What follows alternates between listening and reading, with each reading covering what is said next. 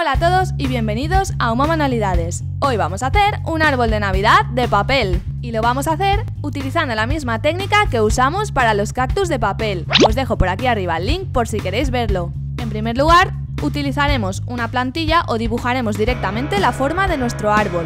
Lo haremos sobre un papel estampado que nos guste. Yo he utilizado unos con motivos navideños. Dibujaremos esta silueta en cuatro papeles diferentes y los doblaremos a la mitad.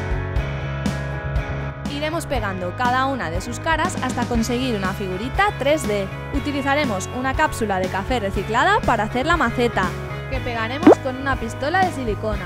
Y con la ayuda de unos pompones de colores acabaremos de decorar nuestro árbol de Navidad. Podemos terminarlo con una estrellita en la parte de arriba y ya tenemos nuestro árbol de Navidad de papel. Como veis es una manualidad muy sencilla con la que podemos decorar una mesa o algún rincón de nuestra casa.